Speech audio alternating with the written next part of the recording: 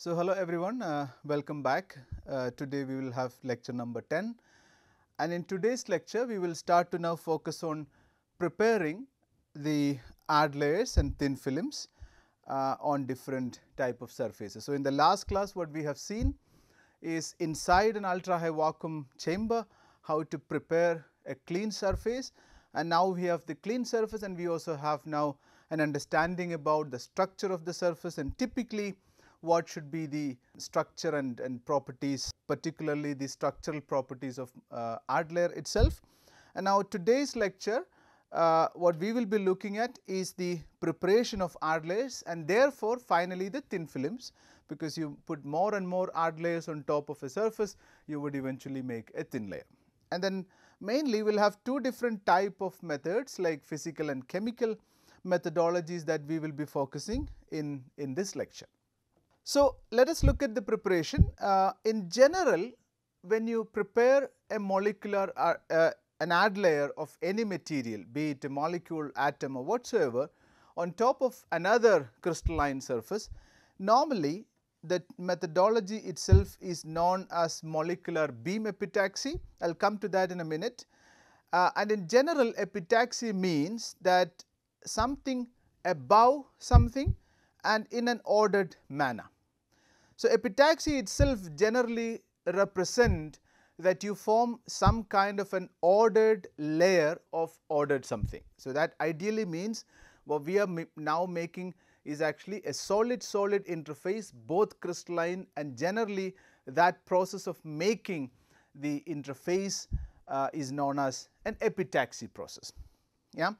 And molecular beam, why is it molecular beam? Because in the epitaxial process itself, you are now going to generate a beam of molecules or atoms that are going to eventually uh, get deposited on the surface. So, that is the reason why it is called molecular beam that means atoms are coming actually one by one or molecule if you are depositing molecules on surface molecules are coming basically one by one onto the surface and therefore, it is actually called as molecular beam epitaxy.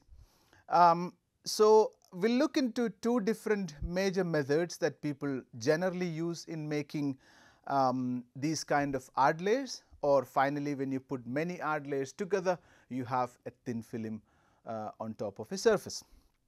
Well, that is what we do and the general and the most uh, simplest method that you can think of is actually something known as a physical vapor deposition or PVD in general and physical vapor deposition is done that is the most important thing it is done either in high vacuum or in ultra high vacuum uh, chambers. So, that itself tells you that physical deposition is a kind of an extremely clean uh, methodology in preparing ad layers.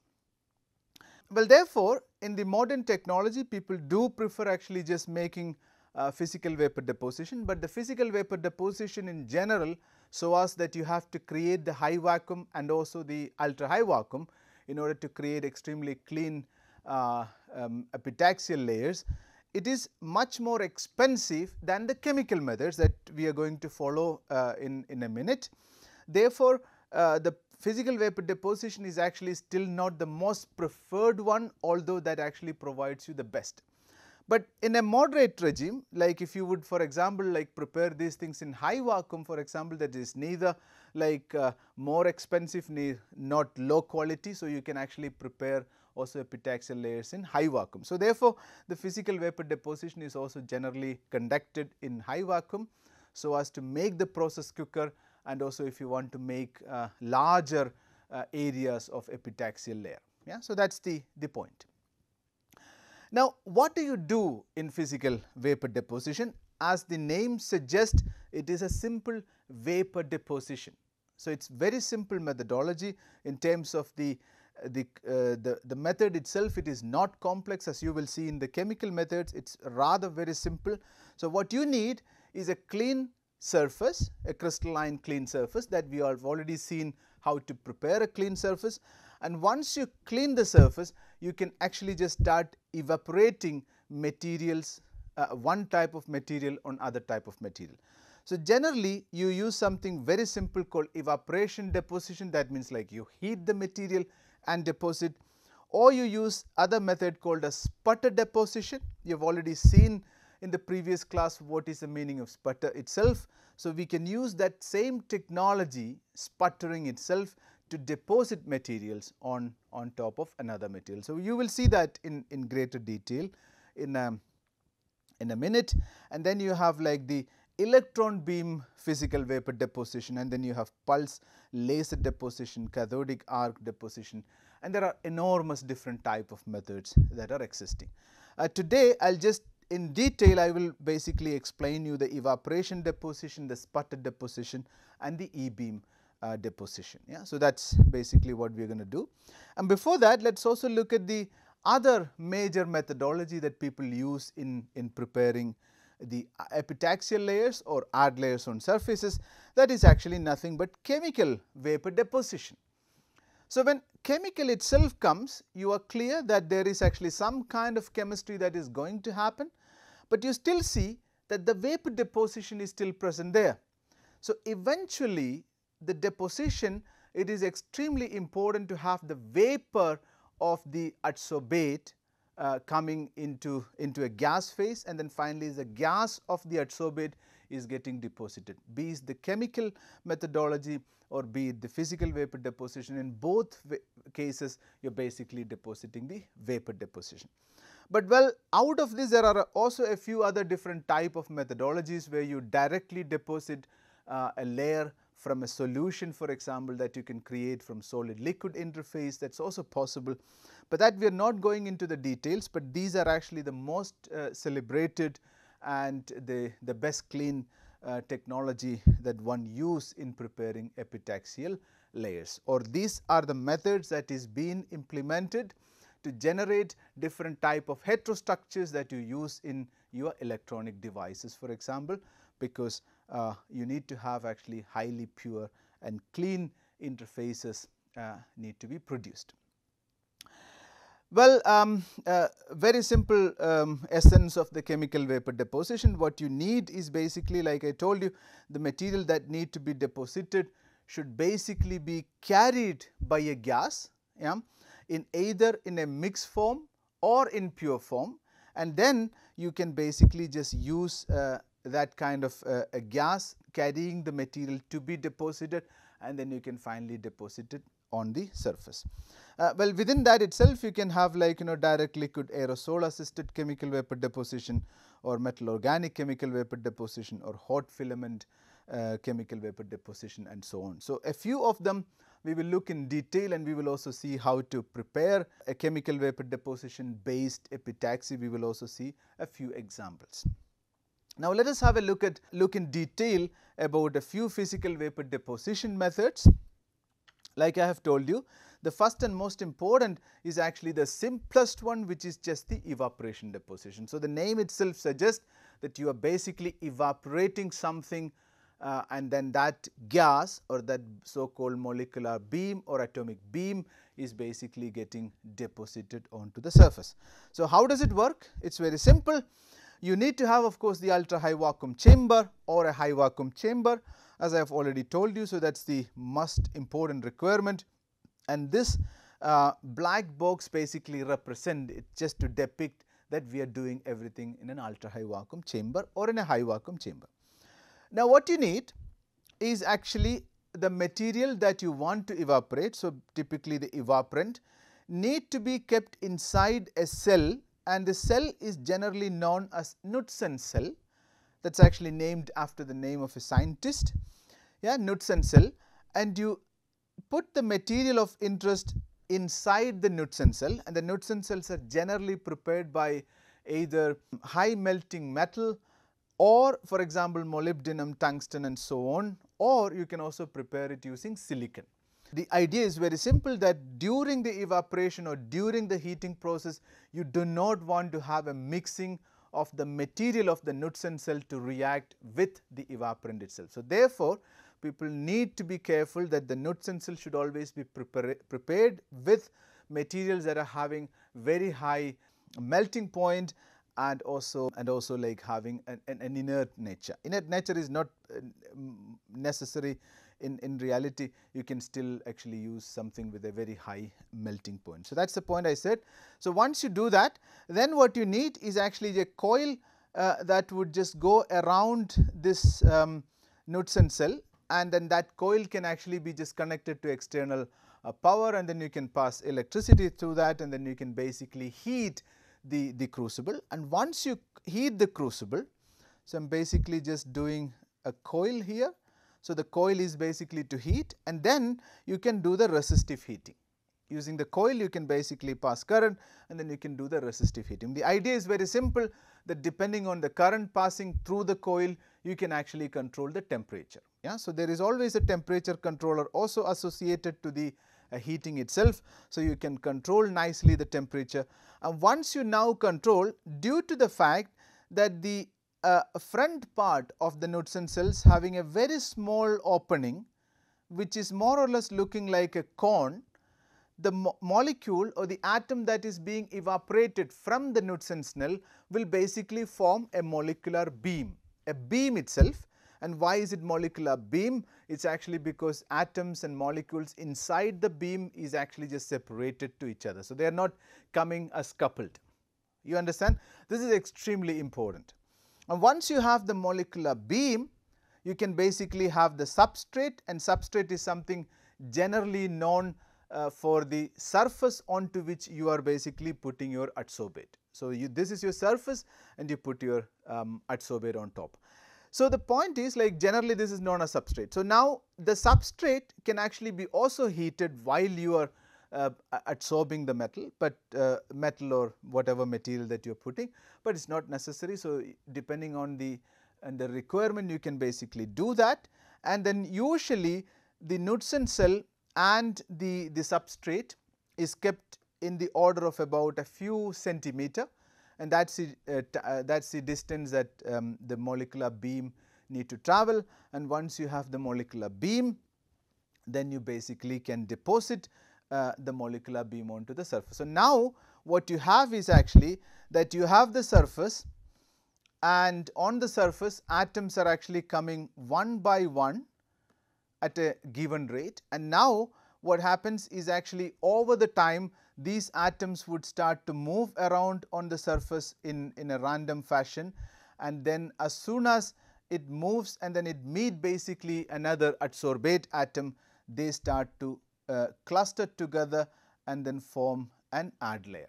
You can now see that I have formed a small island of the adsorbate uh, add atoms together and I have formed an ad layer. So, this is how you do it. So, you send atom by atom onto the surface and then you let the atoms to move because the atom that are coming onto the surface has a certain energy because they are coming out of a of a heater. So, this has a certain high thermal energy and thermal energy is good enough to move around on the surface and once they move around they would finally form uh, this kind of adsorbate layer on top of the on top of the surface. Now, this is how a typical Knudsen sensor look like. So, this is just taken from a real example. What you have here is actually like a ceramic crucible uh, and then that is a crucible where you deposit your molecule and then the molecule is basically just molecule or atom uh, is actually kept and then the uh, and this heater is actually now you can see here the CF flange as I have already told you. So, this is a CF flange and this flange is what is connected to the vacuum chamber. So, you can ideally control everything from outside and then you can basically evaporate the atoms and then they go on to the surface. So, this is what a real example is and normally you also have something here called a shutter and the shutter is used to, to kind of control the flow of the of the molecular beam out of the Knudsen cell. So, that is also something you can control externally. So, whenever you want to shut the, the, the flow uh, of the of the molecular beam you can basically also control it externally. So, that is the general uh, definition of the evaporation by deposition. So, we are going to look at a few examples uh, how the outcome looks like uh, and then you can get the understanding more clearer. Good. So, now um, we do the sputter deposition or sputter coating it is generally known as. So, you remember in the last class we have discussed about sputter sputtering itself because sputtering is a, a, method that you use for cleaning surfaces. Yeah, so to, to, to, to clean the surface and then to generate basically atomically flat surface, you were basically using the sputtering and heating, sputtering and heating. So, cycles of sputtering and heating would generate a clean surface. So, I hope you recollect what we have done in the previous class. So, what we had was again just to recollect, we had a beam of electron beam that is coming out of a filament. And the beam of electron is basically bombarding with noble gas molecules that are actually going in into the uh, into the beam of electron. And once to the once the electron beam bombard with the argon ions it is not necessary that you work always with argon ion. You can use any noble gas that should work. Uh, and now you create actually a beam of positively charged noble gas molecule because your electron is basically bombarding the electron knocks out an electron out of the system and then you have basically a positively charged um, uh, argon atom. And now the argon atoms are basically propelled by you can see a high voltage um, along the um, uh, repelled by a high voltage and then it is also been attracted by because always you keep a negative uh, a negative voltage onto the sample. Uh, this is a sample. So, the beam of uh, argon ions would basically get attracted to the surface.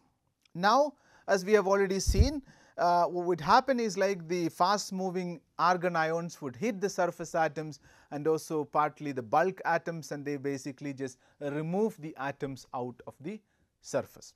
So, that is exactly what we have done during the sputtering, but now you see the interesting thing is that you are basically using the sputtering idea itself because now when the argon ions are actually hitting the surface you are removing atoms from the surface. Now imagine you have your evaporant here and that evaporant molecule uh, evaporant surface is basically now getting bombarded by argon atoms. So, what happens naturally is that the evaporant atoms are basically getting escaped from the surface.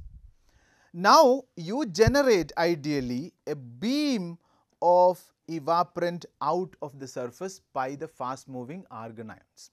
This is quite interesting. Now, you can use basically that evaporant which is coming out of the evaporant due to the sputtering can be collected on a substrate right. Again here you can see by controlling the speed of the argon bombardment you can also control basically the amount of evaporant that is coming out of the surface and then you can see it is basically atom by atoms are getting evaporated from the surface or getting removed from the surface and so ideally you create a nice beam of atoms and if you can direct those atoms to the surface or the substrate onto which you want to prepare the epitaxial layer then you can ideally get the um, surface to be decorated by the um, adsorbate um, atoms. So, that is the, the technique.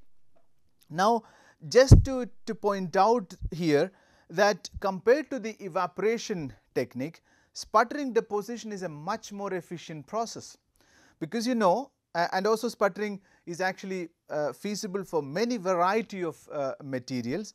The problem with the evaporation technique is actually that the evaporant material uh, need to be not extremely high in their evaporation temperature. If their evaporation temperature or the so called uh, sublimation temperature is very high, then the evaporation technique is not very effective because you need to really use a lot of heating in order to get a very high beam uh, of the uh, molecular beam or the very high beam of the atoms uh, that you want to deposit.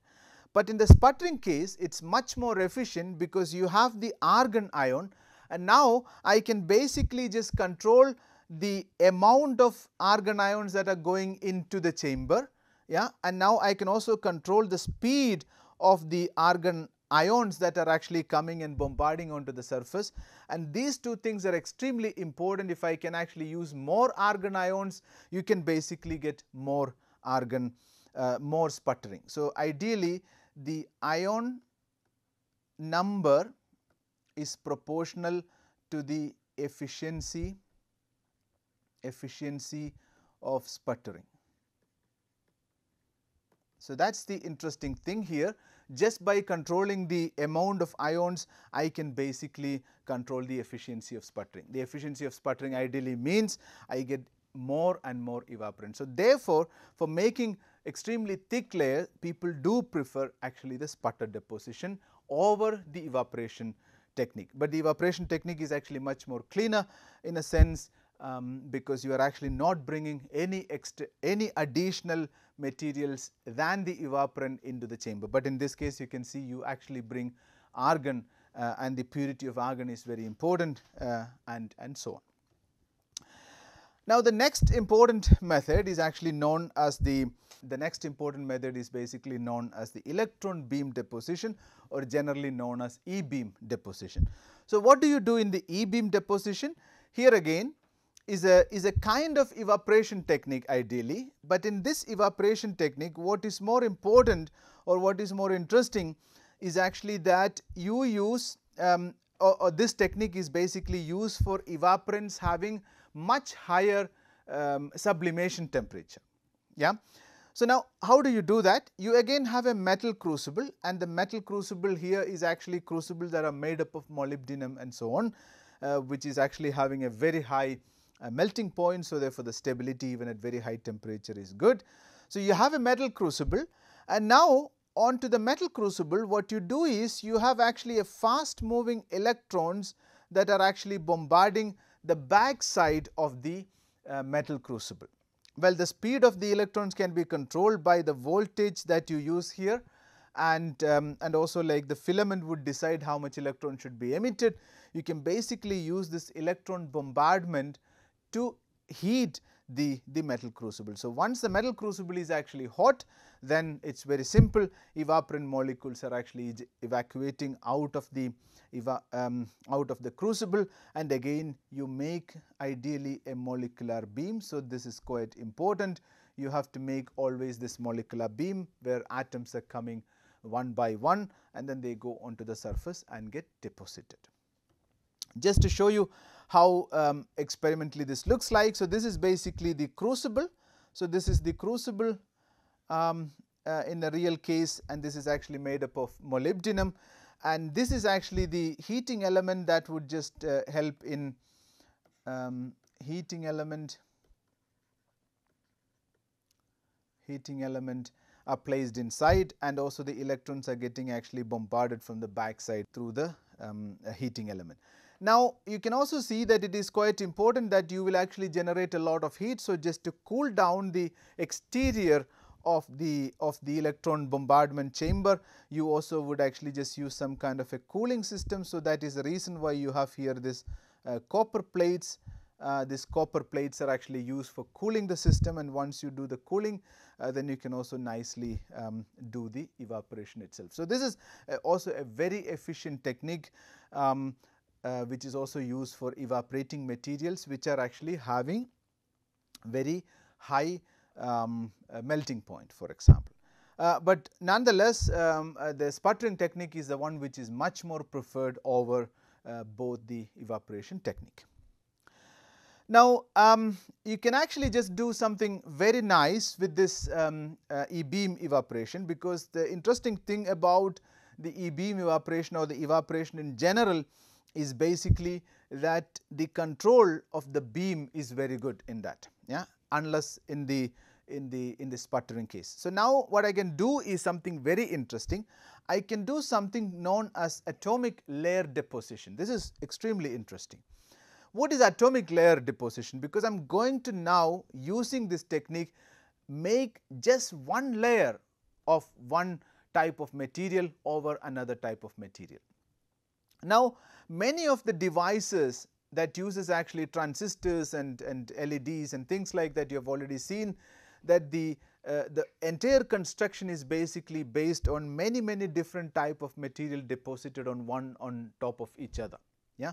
So, ideally what you do is you actually just make an extremely complex heterostructure.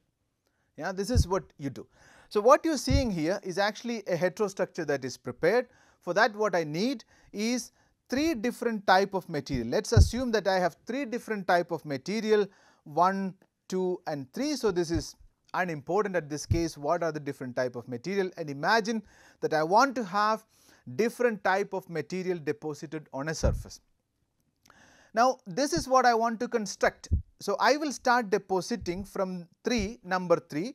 So, I am basically just depositing 3 first and then I can basically control exactly the layer by layer and as soon as I create the layer by layer then I can start evaporating the second material yeah that is actually evaporated. So, now you can see the second material is evaporated and then again I evaporate the third material and then you can see finally I want to coat everything with the first material.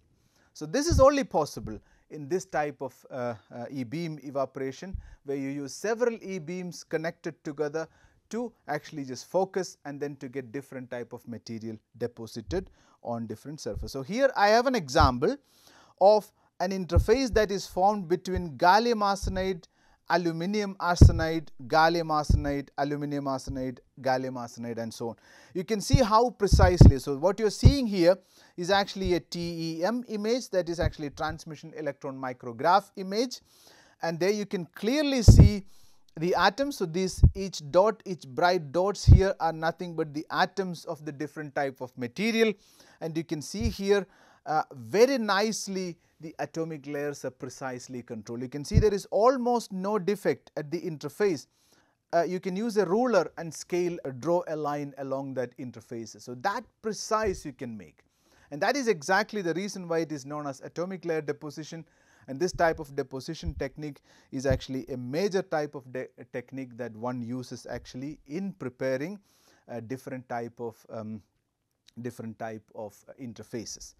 So, one more thing to be uh, uh, careful in this case, we need something called a, a quartz crystal microbalance and this is actually a, a, a technique that actually can use the evaporation rate uh, what you have is actually a crystal of quartz that is resonating at its resonant frequency.